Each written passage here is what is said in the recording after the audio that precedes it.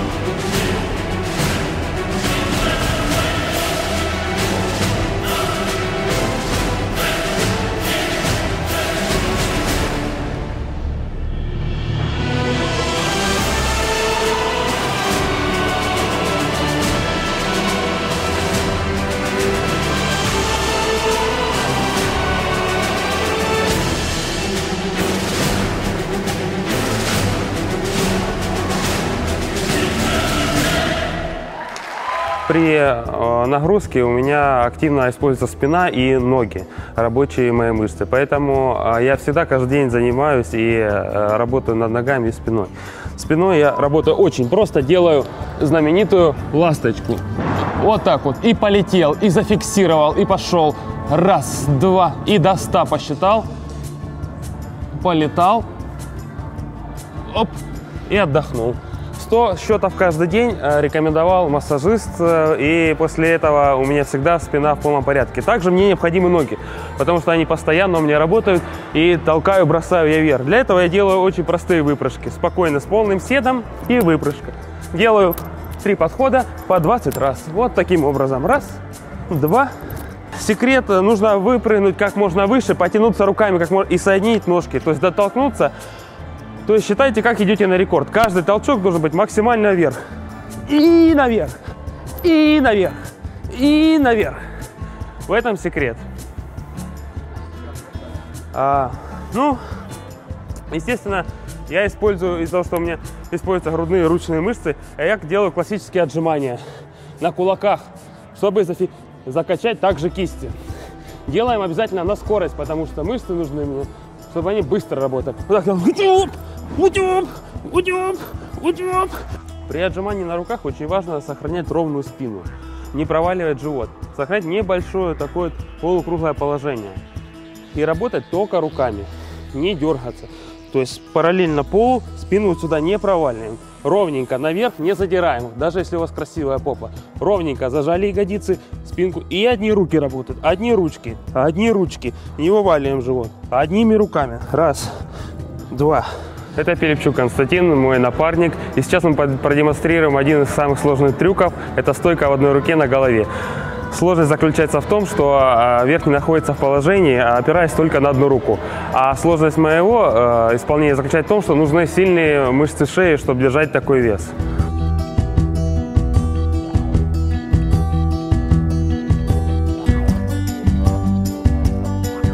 Не повторять.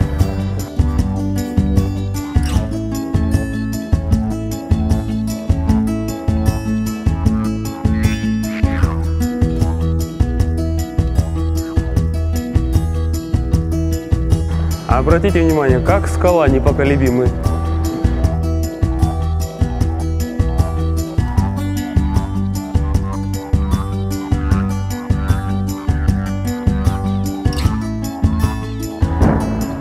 Вуаля!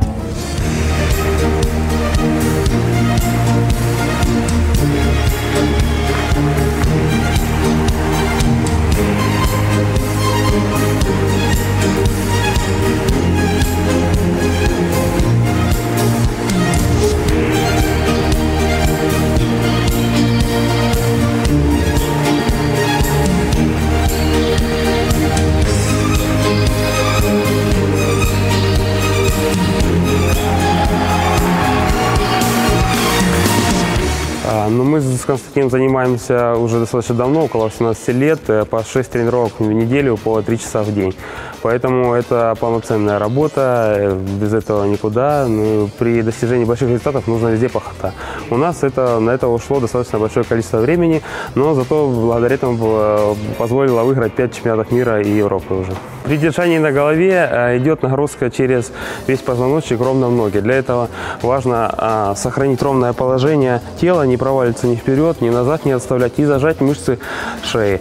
Тогда, получается, при правильном техническом исполнении вес основной идет в ноги через позвоночник. То есть я могу э, с ним приседать, вставать. То есть это вот э, правильное техническое исполнение позволяет э, держать такие вес на голове. Ну и плюс, конечно, сильные мышцы шеи, которые с годами наработаны. Только это привело к такому прекрасному трюку. Дело в том, что, может, созрел, не знаю, но, возможно, с возрастом связано, стало тяжелее подготовиться к соревнованиям. Все-таки скоро четвертый десяток пойдет, поэтому обратил внимание на правильный режим дня и правильное питание. И когда я начал раньше ложиться, начал правильно питаться, мне стало намного легче э, работать в спорте и вообще стал себя намного лучше себя чувствовать. А при подготовке к соревнованиям необходимо нормализовать свой вес, потому что физические нагрузки э, есть, и поэтому, э, чтобы подготовиться к соревнованиям, нужно быть в хорошей физической форме. Для этого нужно привести свой вес в порядок. Для, перед э, соревнованиями за месяц где-то я сажусь на белковую диету, заменяю два приема пищи утренний и вечерний функциональным питанием,